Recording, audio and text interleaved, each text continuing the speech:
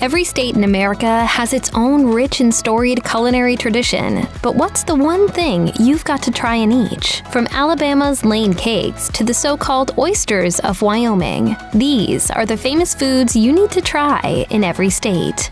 The Lane cake is a classic Alabama food. Its story began when Alabama's Emma Rylander Lane entered her cake into a Georgia county fair and went home with first place.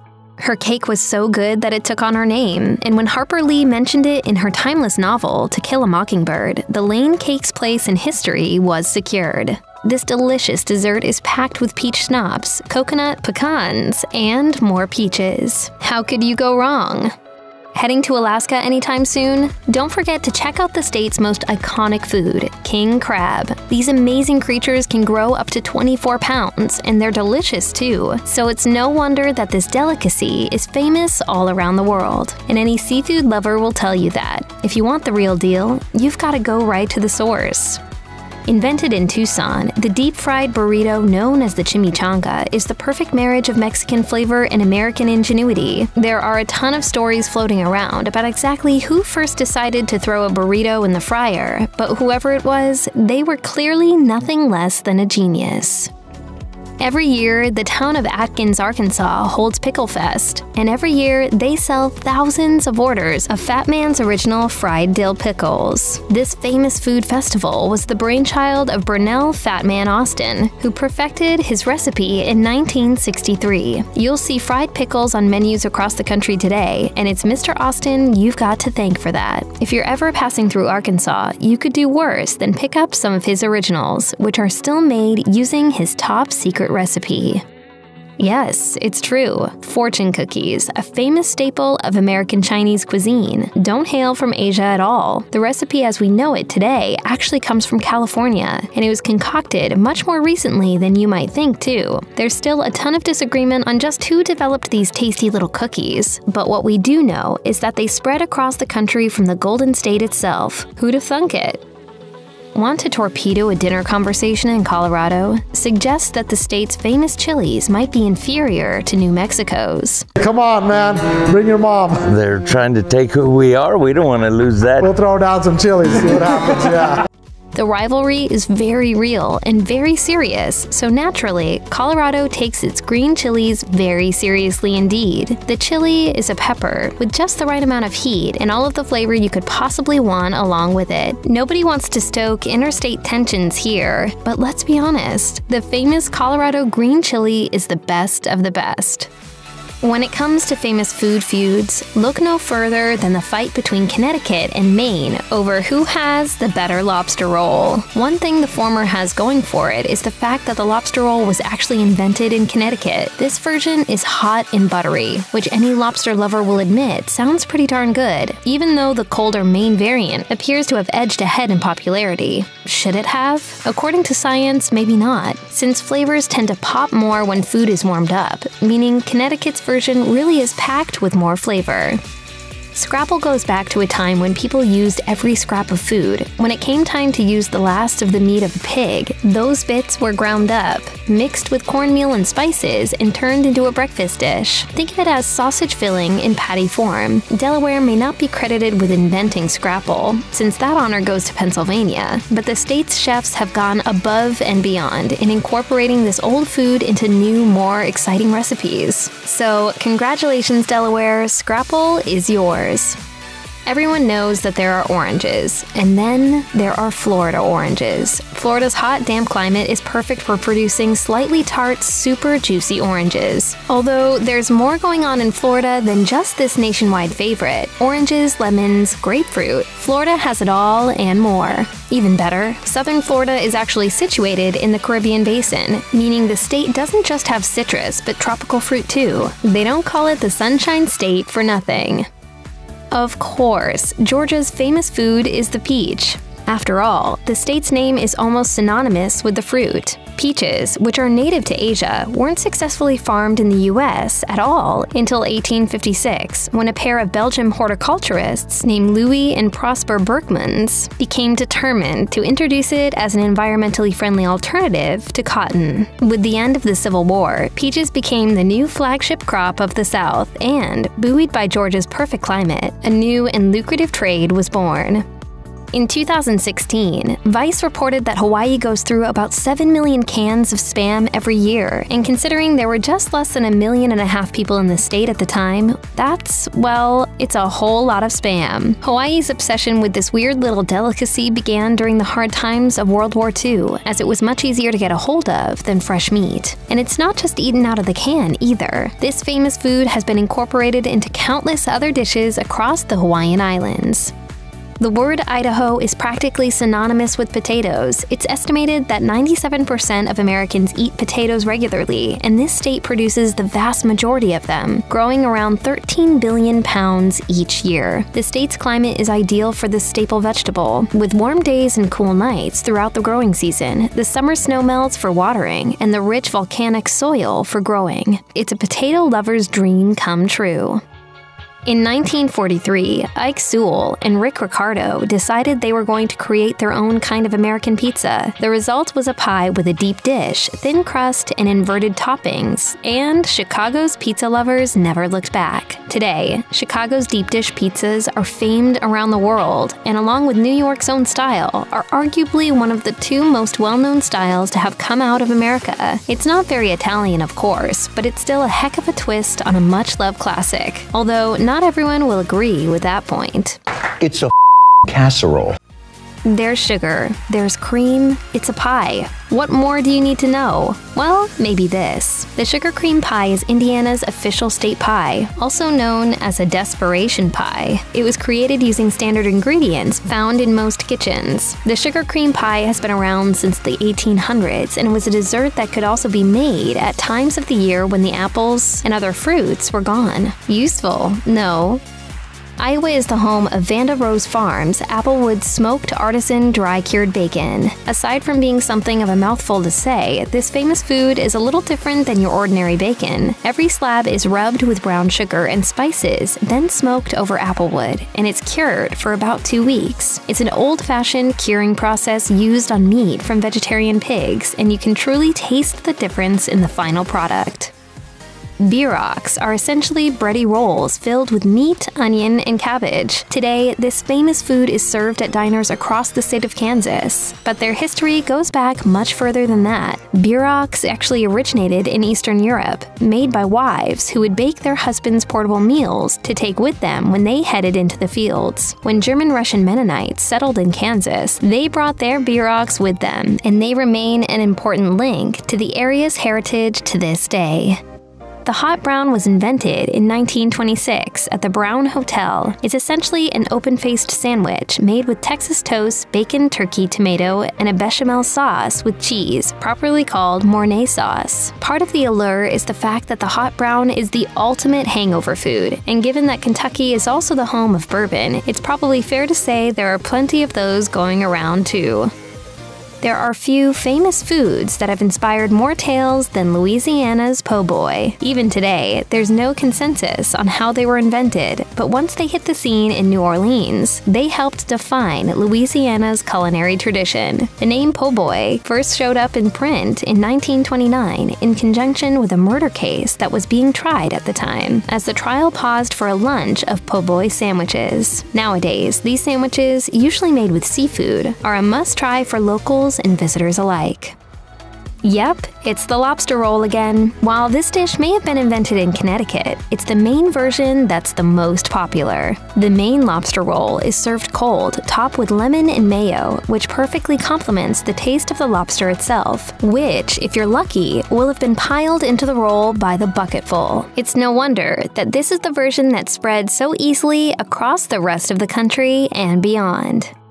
Maryland is known for its seafood, and its blue crab in particular, but no famous seafood platter is complete without a little Old Bay. This Maryland staple is spread nationwide, but it's still treasured in the state that first created it, and it's not as old as you might expect either. It was made when a man named Gustav Brunn fled Nazi Germany and brought his spice mixer with him, settling in his new country and accidentally creating a seasoning mix that would later become a state treasure.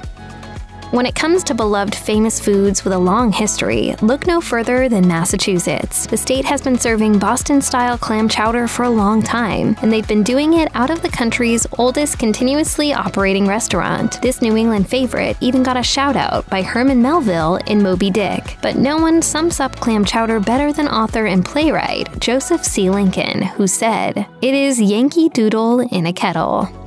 While there might technically be no right answer to the question, how do you like your hot dogs? Michigan natives will probably disagree. In that state, it's not only a Coney dog all the way, but there's even the ongoing and famous rivalry between Lafayette Coney Island and American Coney Island over who does it best. There must be something good about this because it's 11:30 in the morning mm-hmm. and I'm eating this like it's the last food on earth. This Michigan famous food features a beef dog on a steamed bun, covered in an all meat chili, yellow mustard, and white onions. Simple, straightforward, classic. Minnesota is known for its long, cold winters, so it's not surprising that one of its most famous foods is one that's perfect on a dark and chilly night. This is the hot dish, and while there's a ton of variations on it, a few things stay the same. It's always a vegetable, a protein, and a starch, all tied together by a creamy sauce. It likely has roots in the Great Depression, in times of scarcity, but that doesn't mean it's not delicious, especially in the winter months. Just try to imagine Southern food without thinking of those soft, pillowy, buttery biscuits. Of all the Southern states, it's Mississippi that takes biscuits the most seriously. Natchez is known as the biscuit capital of the world, and the city even holds an annual biscuit festival, complete with bake-offs and biscuit-making demonstrations. The nation thanks you, Mississippi. Visit KC calls barbecue Kansas City's culinary soulmate, and based on the sheer number of Missouri restaurants serving up the legendary Kansas City style barbecue, that appears to be true. And they're not talking about just any barbecue either. They're talking about meat seasoned with a dry rub, cooked low and slow, then doused with a sweet sauce. Still in doubt? The state also lays claim to the greatest concentration of barbecue restaurants in the nation, which means there's no shortage of great food to choose from. Huckleberries grow wild throughout the Rocky Mountains, but it's in Montana that huckleberries are considered a truly famous food. These neat little berries have a long history, going all the way back to Lewis and Clark and the earliest interactions between white settlers and indigenous peoples. And while you can substitute them for any recipe that calls for blueberries, huckleberry pie is tops when it comes to Montana's desserts. Runza is the cousin of Kansas Bierock. These handheld meat pies originated in Eastern Europe and were brought to the US by immigrants who settled in the area. But while Bierocks are prepared in a more traditional manner, Nebraska has switched it up a bit. Here, they're usually rectangular instead of rounded, and you're more likely to find a wider assortment of fillings, too. Nevada is a true melting pot, with people from all over the country drawn to the hot, sunny climate and the chaos of Las Vegas. You'll also find food galore here, but when it comes to a true Nevada classic, you need look no further than the shrimp cocktail. This nifty appetizer made its Vegas debut in 1959 at the Golden Gate Casino, and until 1991, you could get one for just 50 cents. While Boston lays claim to inventing the dish, it's Vegas that's made it famous, and it remains a casino staple to this day. According to New Hampshire NPR, the state's signature dish is more of a signature attitude, and that's making something unique out of something they have a lot of. So, what do they have a lot of? Apples. In fact, New Hampshire produces more than 24 million pounds of apples every year, and many of those go into making the apple cider for apple cider donuts. This fantastic dessert is simple, usually served plain or covered in sugar. But who needs frosting when you've got a tasty apple kick? Whether you call it pork roll or Taylor ham, this is one of the most famous New Jersey staples. What do you call it? Taylor ham. It's the Oh best. Oh my god. You mean pork roll? Oh God. This is a processed pork product that is rumored to go back to the Civil War. The recipe was made official in 1856, and while it was first called Taylor's Prepared Ham, it didn't actually meet guidelines for being called ham. That never stopped anyone from enjoying anything delicious, though, and since then, this classic New Jersey sandwich can be found in pretty much any of the state's delis. The earliest enchiladas may have been made hundreds of years ago in Mexico, but when areas like New Mexico were enveloped into the US, they became a part of America's cuisine too. Today, enchiladas are still a beloved dish across New Mexico. In fact, the state has so many amazing enchilada places that there's actually an enchilada trail, a series of restaurants serving up some of the best in the country, and by extension, the world. New York City is known for a lot of things, but for the state's very best food, you'll need to go all the way to the other side of the state. That's where Buffalo is, the home of a nationwide favorite, a staple at football games, and a simple food that has nonetheless spawned entire chains of restaurants. That food, of course, is the buffalo wing. Known simply as wings in Buffalo itself, they're served up with varying degrees of spiciness. But whether you like them hot, medium, or mild, one thing is for sure they're pretty darn delicious. North Carolina barbecue is in a category all its own, and the state's pulled pork is some of the best in the world. Pulled pork has a long history that goes all the way back to at least 1769, when George Washington mentioned enjoying a barbecue in his diary. Today, pork is the barbecue meat of choice thanks to North Carolina's early Scottish, German, and Irish settlers. It's also often served with coleslaw too, which provides a nice fresh contrast to the intense flavors of the pork. If you've never been to North Dakota, you might be wondering what the heck knoephla is. But the answer is simple. It's a famous hearty soup made with chicken stock, dumplings, potatoes, celery, and carrots. German in origin, knoephla was brought to North Dakota by settlers in the 1800s. It's a filling, comforting kind of soup that's perfect for those long, cold winter nights. And any other time, too. One of the most famous foods in Ohio is Cincinnati chili, a truly bizarre mix of ingredients that really shouldn't work together. It's basically a base of spaghetti with layers of chili, onions, beans, and enough cheese to cover the entire thing, and then some. There are few dishes out there quite so polarizing as this one, but one thing that's undeniable is that you have to try it to really believe it. Where on earth would American food be without chicken fried steak? Even though it originated in Texas, brought over by German and Austrian immigrants inspired by the Wiener schnitzels of their homelands, it's Oklahoma who can lay claim to some of the best known chicken steak recipes. The state takes it super seriously, too. In 1988, they even named this fried meat and gravy dish as their official state meal.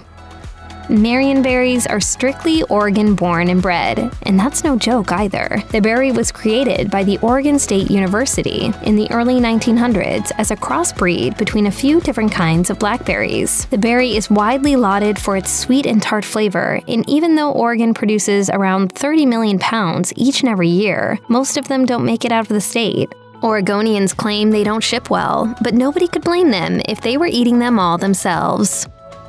Hot beef, melted cheese, a roll to keep it together? Yes, the cheesesteak is that simple and that good. And Pennsylvania has been its home ever since it was invented by a hot dog vendor in the 1930s. Apparently, the world can thank Pat Olivieri for coming up with this magical creation. And here's some extra good news for onion lovers and haters. Whether you like it with or without, either way is oh so right.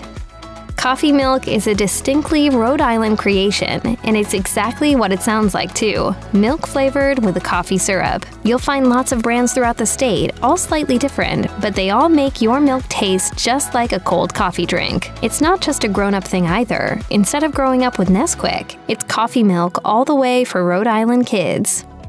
Boiled peanuts seem like a weird food at first glance, but they've been around since before the Civil War. They quickly became popular after South Carolina newspapers started advertising them as the snack of anyone who was someone in Southern society. That was around the start of the 20th century, and since then, they've become a snacking staple across the South. It just comes right open. Yes, ma'am. Perfect. Okay. This could grow on you. The state bread of South Dakota is fry bread, and while it's certainly a delicious and versatile food, it's also incredibly controversial. That's because fry bread played a part in a very dark chapter in American history. When Native Americans were forced onto reservations in the late 19th century, they were given rations that included salt, lard, powdered milk, and flour. That was used to make fry bread, which today acts as a reminder of the atrocities committed against Indigenous Americans. South Dakota embraced it officially as a way to share cultural touchstones, but it's still a hotly debated topic to this day. American barbecue evolved into separate styles from its Caribbean roots, and one of those styles is the Memphis version, which features a sweet, tomato based sauce that developed in part because of the readily available ingredients that were traded along the Mississippi River. Memphis ribs are also known for their dry spice rub. Memphis is also where barbecue diverged from being strictly pork related and began using other meat products as well, making for a style that's as uniquely Tennessean as Sun Studio itself. Who doesn't love queso? This is one of those appetizers that you could easily make a whole meal out of, if only they'd just keep it coming. And no state takes its queso more seriously than Texas, where they boast of first mixing it up. As soon as processed American cheese was invented in the early 20th century, it was used for this ooey gooey dish of goodness that the brands Velveeta and Rotel later turned into an art form. Honorable mention, of course, has to go to the state's barbecue tradition, which is famous around the world for very good reason. Utah is home to more than 2 million Mormons, and it's their love of jello that pushes this wiggly jiggly dessert to the top of Utah's favorites list. In fact, people eat more jello here than anywhere else in the country. This all has to do with the marketing campaigns of the 1980s. Jello was pitched as a family friendly dessert that just happened to be perfect for large gatherings, like church functions, for example. And the rest, as they say, is history. Vermont produces around 2 million gallons of maple syrup goodness every year, making the state the spiritual home of this iconic food. Seeing the sap flow out of the tree, Yeah. the taste of fresh maple syrup, Not bad. not bad. And they've been doing it a long time too, since early settlers were taught the art of maple sugaring from the Native Americans, who had been doing it for countless generations before that. What makes Virginia ham so good that it takes the name of the state? Well, to be real Virginia ham, the meat has to come from a pig that's only eaten foods it can forage, as well as peanuts. It's then cured, spiced, hung, and smoked, and allowed to grow a layer of mold. This ham is so iconic partly because they've been doing it for a long time, since the colonial era, when Smithfield, Virginia was at the center of an industry that fed the new colonies.